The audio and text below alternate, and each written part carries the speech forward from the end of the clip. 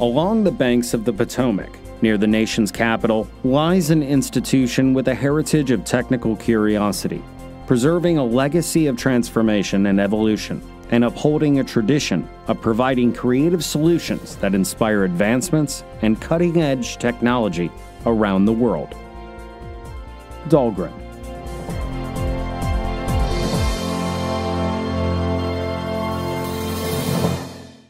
Since 1918, firm foundations of science and engineering at Dahlgren have served the fleet by ensuring the safety, reliability, and effectiveness of its weapon systems, always striving to make certain that U.S. forces maintain total dominance in any theater. Dahlgren's dramatic metamorphosis to become today's high tech nexus of research, development, experimentation, and testing reflects its century of service meeting the fleet's ever evolving dynamic requirements around the globe.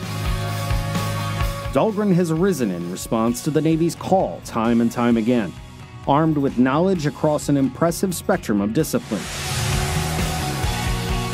making a difference every single time. Dahlgren's story is transformational, abound with reinvention and adaptation for the future. From proving grounds to weapons lab and beyond, Dahlgren's record of versatility and agility remain unequaled.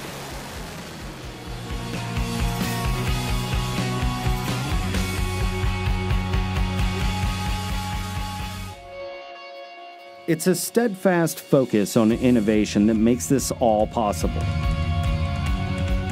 With more than 500 patented inventions produced over the past 50 years, Dahlgren's advancements touch everything from cell phones to ground and air transportation, and every guidance system on the planet. By remaining on the cutting edge of research, development, testing, and evaluation, Dahlgren's investments in the future will continue paying dividends for the fleet well beyond the 21st century allowing them to overcome the greatest challenges imaginable. This is a community of scientists and engineers, innovators and trailblazers, warriors and patriots who united make Dahlgren's resolve possible. then I got a call to Dahlgren, and that was in 1956. I was just proud that I could stand up with, with those great scientists.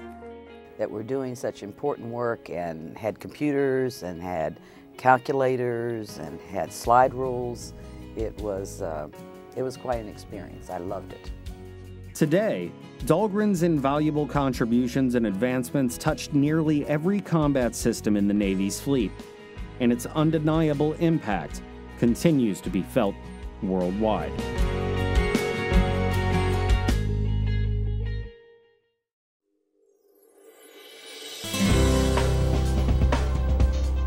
As a vanguard of the cutting edge, Dahlgren's innovations have continually pushed the envelope, breaking through seemingly impossible barriers. Their leadership, hard work, and dedication steering us into a boundless future and upholding the superiority of America on any battlefield, even tomorrow's. So hold your hat, Tojo. Here's a calling card special delivery.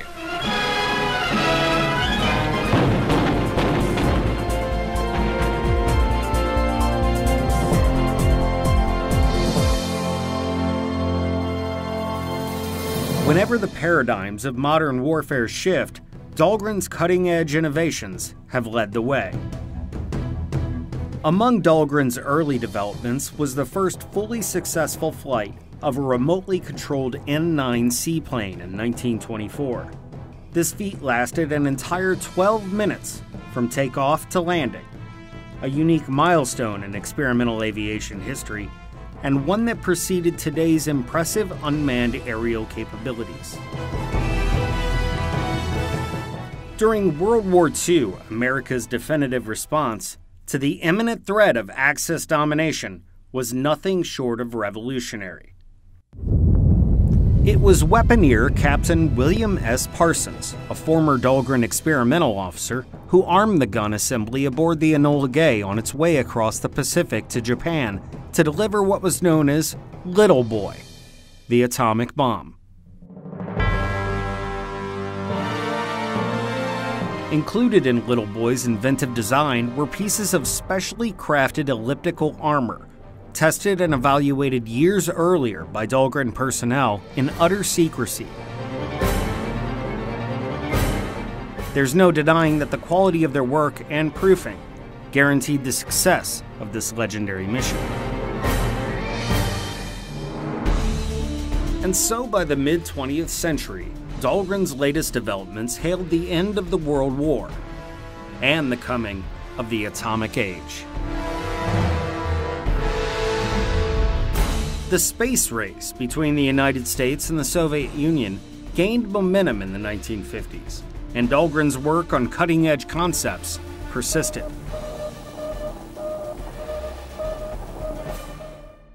Officials of International Business Machines and high-ranking naval officers are on hand for the induction of the Navy's newest recruit.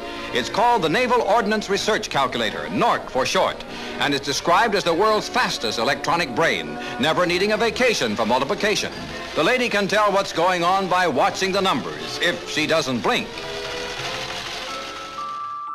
The Naval Ordnance Research Calculator, or NORC for short, was the world's first true supercomputer built by IBM and installed at Dahlgren in 1955.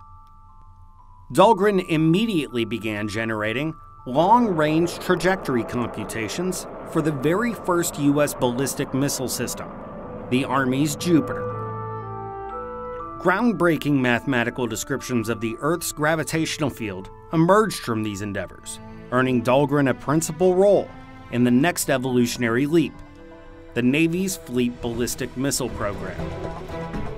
With Dahlgren's foothold on the future firmly fixed, even more computer firepower was added to their arsenal by the late 1950s, helping overcome new challenges in ballistic calculations, navigation, fire control, and the processing of satellite orbital data. Innovation once again followed from Dahlgren's spirited pursuit of the cutting edge. In July 1960, the nuclear submarine USS George Washington successfully completed the first underwater launch of a Polaris ballistic missile off Cape Canaveral. A feat barely imaginable only a decade or two before due to the complex calculations required. As the 60s progressed, Dahlgren's growing experience in the realms of navigation, satellite missions, and orbital data helped guide the development of the Navstar Global Positioning System, which we know today simply as GPS. GPS, in its final configuration, will consist of 24 satellites circling the Earth, with eight satellites in each of three orbital planes. The spacing of the satellites and the distribution of the planes provide at least four satellites available for a fix any time of day, anywhere on Earth. Over the years that followed, technology continued to advance at an exponential rate under Dahlgren's unwavering leadership. By the turn of the next century, integration became one of the Navy's top priorities, and Dahlgren spearheaded the creation of new testbed technologies. Dahlgren's human system integration endeavors sought to integrate the user, hardware, and software as one system, evolving around situational awareness, distributed decision making, and action. The Distributed Engineering Plant, DEP, addressed critical fleet interoperability issues. This high fidelity, shore based battle group testbed was responsible for linking up dispersed combat system sites across the U.S. By assessing each battle group prior to deployment, DEP was able to effectively measure total battle group system performance. DEP's success became a stepping stone for further advancement of the Navy's integration goals. The Navy's very own virtual ship, aptly named the USS Dahlgren, takes DEP's achievements a step further, conducting cutting edge technology investigations using an elaborate fiber optic network. The network links hardware, software, and experimental weapons and other assets with crew and personnel a safe distance away, operating as if they were aboard a real vessel. The advances realized by Dahlgren Division's virtual test beds allow the Navy to experiment with new weapons, systems, techniques, and equipment safely and at a fraction of traditional costs, while bolstering their ability to respond to any conceivable modern threat, from real world to cybersecurity and beyond. Over the course of four decades, Dahlgren's R&D led to the development of high-tech electromagnetic weapons like the powerful railgun, which uses electrical energy to launch projectiles at targets.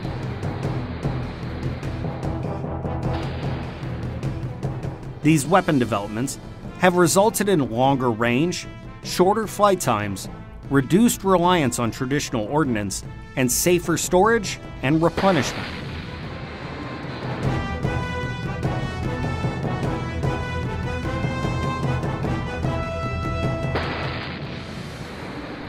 The Navy's Laser Weapons System, or LAWS, also flourishes under Dahlgren's direction. LAWS was the first high energy laser weapon to successfully shoot down airborne targets from a naval surface combatant.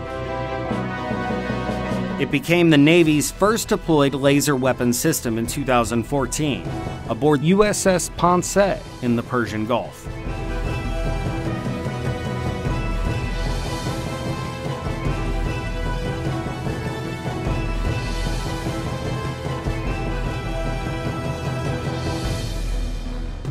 Dahlgren has remained on the cutting edge of innovation since its inception and continues to evolve in lockstep with the Navy, standing ready to respond to any of its diverse needs around the world.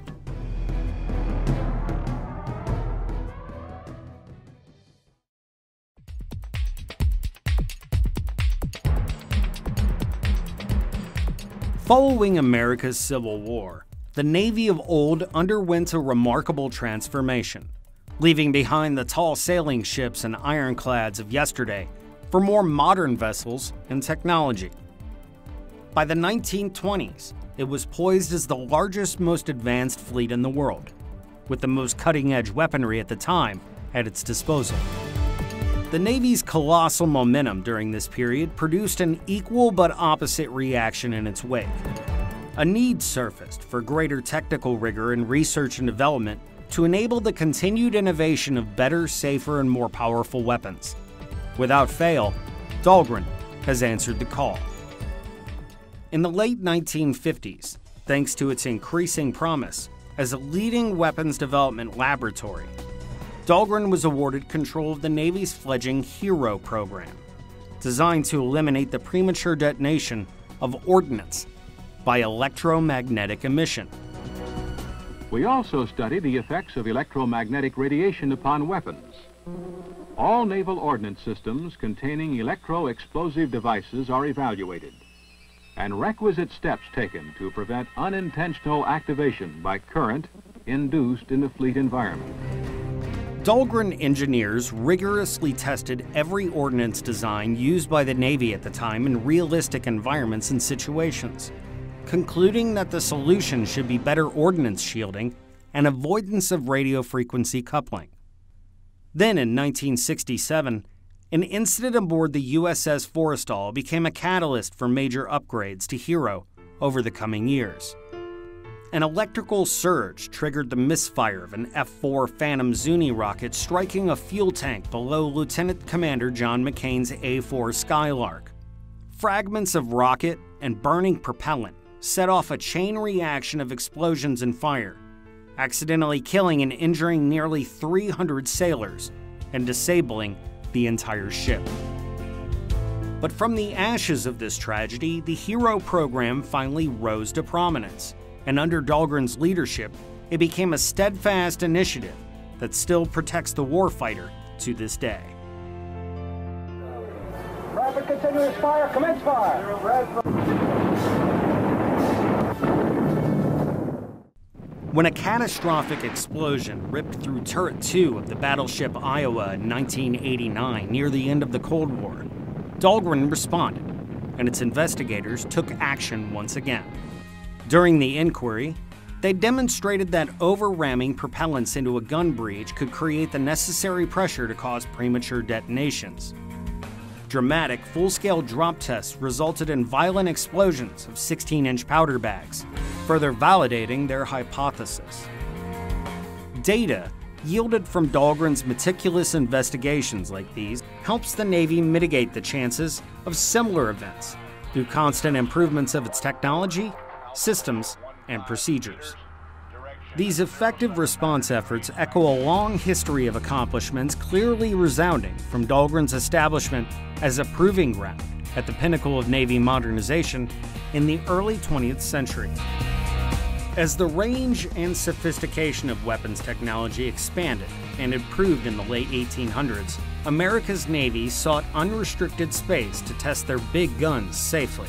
The Navy moved its proving grounds several times before landing at Indian Head, Maryland in 1890.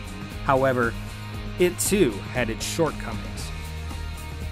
In less than 30 years, a multitude of small incidents added up to a whole lot of trouble for Indian Head.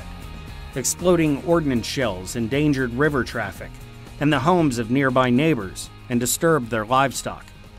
Then, in 1913, a near miss on the Potomac rocked the presidential yacht, the Mayflower, with President Woodrow Wilson aboard, causing quite a stir. By 1918, the naval proving ground at Indian Head simply did not have enough room to accommodate the increasing demand for newer and larger guns at the peak of the First World War. And so the Bureau of Ordnance asked Congress for a new, separate proving ground the legislature readily agreed. And the Machodoc Creek on the Virginia side of the Potomac was quickly identified, offering ideal conditions for testing naval ordnance on the longest river range in the world. On October 16, 1918, colors were hoisted and a 7 inch tractor gun fired a 153 pound projectile, some 24,000 yards down the Potomac a spectacle that signaled the beginning of an era of responsive innovation on these hallowed lower station proving grounds, a place soon to be known far and wide simply as Dahlgren. As the Navy's needs continued to grow, so grew the number of revolutionary solutions coming out of their new ordnance proving grounds. Lower Station was renamed in honor of the father of American naval ordnance, John Adolphus Dahlgren. Those towering ideals of systematic research and development in the production of safe, powerful weapons inspired an era of bold experimentation and groundbreaking efforts. In August 1919, following months of experimental ranging work, the Mark II railway gun fired a 1,400 pound projectile 18 miles down the Potomac proving superior to the design used in France during the Great War. The 1920s and 30s saw radical trajectory advancements with the Norden bombsight, allowing bombardiers traveling at high speeds and great altitudes to achieve a better probability of successful hits on moving targets, an improvement in accuracy that proved most useful in the war to come. In the decades that followed, Dahlgren's performance remained true to form, responding above and beyond. Whenever the Navy called, they answered. By the 1970s, Dahlgren's work was helping to forge intrepid new systems, such as the Tomahawk sea launch missile or the Phalanx ship defense system, and the Navy's powerful new combat system called Aegis. In only a few short years, Dahlgren made a significant impact on Aegis development by continuing to advance technical solutions and by solving the system's technical problems head on. So it's no surprise that Dahlgren became stewards of the Navy's new Aegis Computer Center in 1982. Here, researchers designed and improved software and simulations, ensuring that Aegis would continue to be the premier computerized naval weapons system into the next century. As the Navy shifted its energies to support Operations Desert Shield and Desert Storm in the 1990s, Dahlgren continued its legacy of innovation. Extensive research and testing were dedicated to countering potential threats to Navy forces from chemical or biological weapons, or from weapons of mass destruction. At that time, Dahlgren's experts worked to evolve an advanced guidance system for the Navy's next generation of cruise missile, the Tactical Tomahawk. Over the years, Dahlgren has maintained dominance as the leader in warfare systems design and integration. Its cadre of scientists, technicians, engineers, and warriors exude an innate ability to respond successfully to the Navy's ever evolving needs, time and time again, reflecting a keen aptitude for innovation and perpetual reinvention.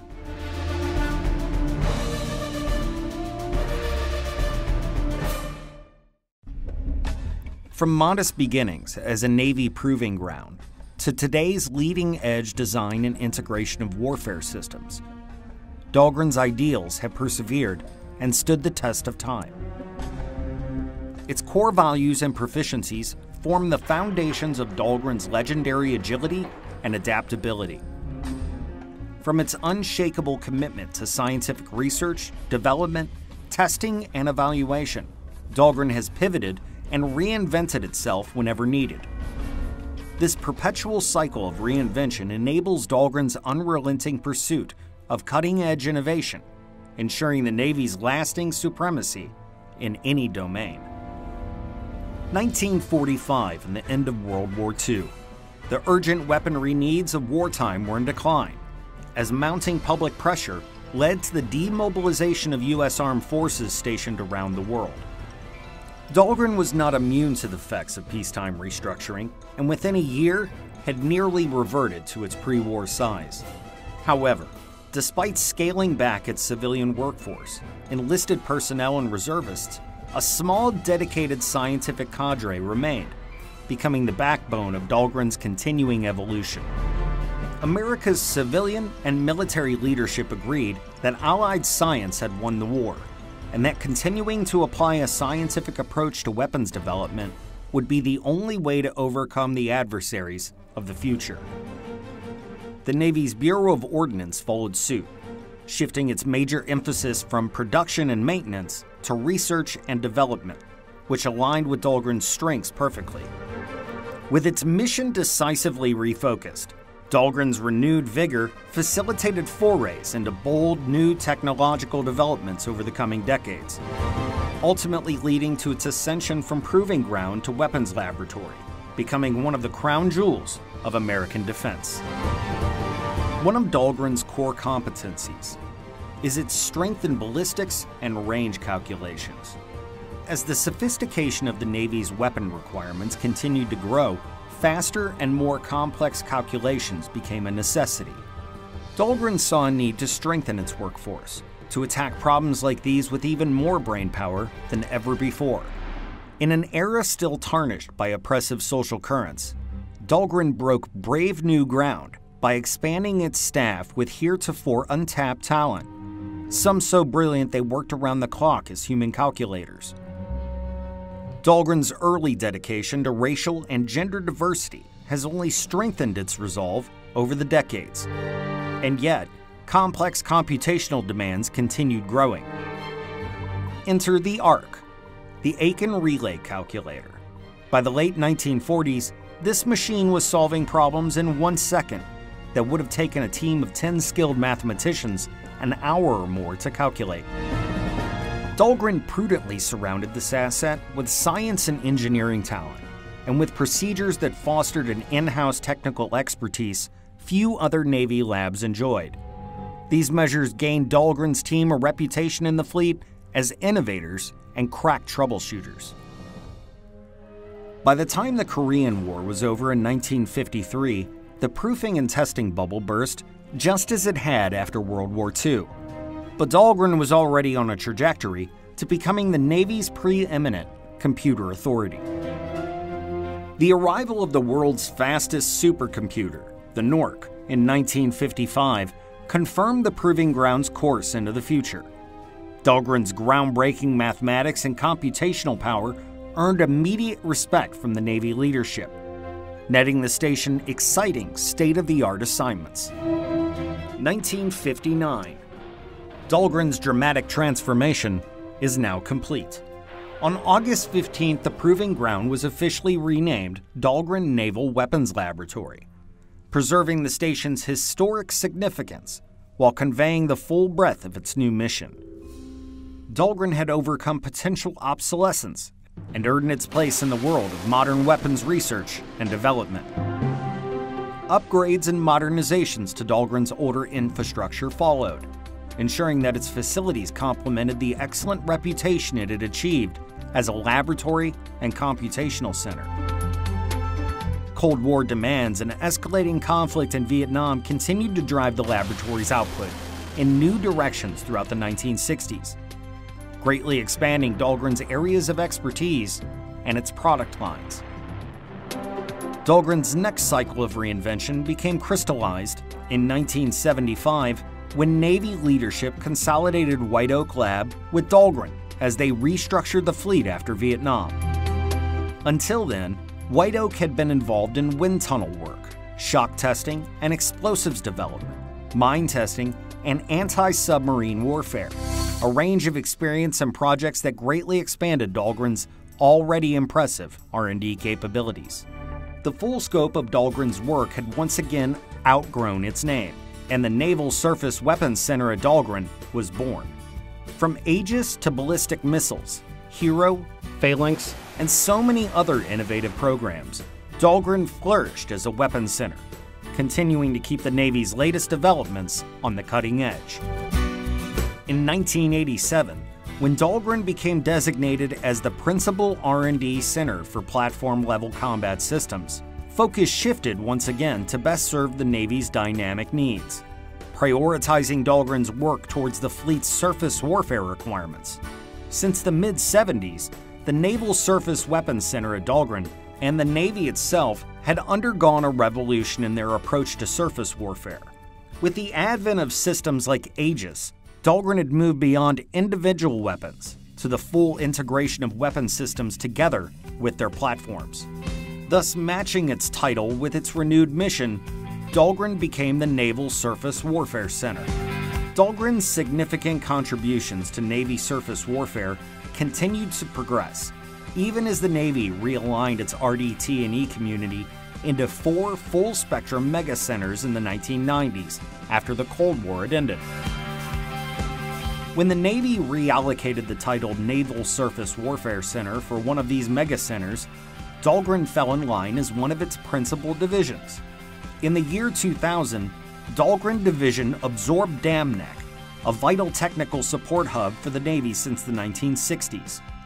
Dam Neck's unique expertise blended with Dahlgren's own robust capabilities and provided a window to the fleet from the historic Atlantic shore of Virginia Beach. Ever vigilant, Dahlgren remains poised to reinvent itself whenever needed, always ready to lead the Navy's innovation for the next generation.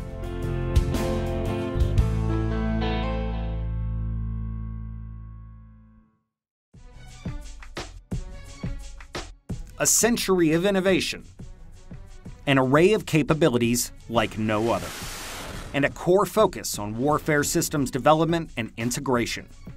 Today, Dahlgren Division continues to evolve with the ever changing mission of the warfighter and new advances in technology. The division's fundamental proficiencies are grounded in electromagnetics and engineering, mechanics and physics, computation and analysis, and masterfully directed by a tried and true plan, detect, control, engage, assess methodology. Electric weapons development and integration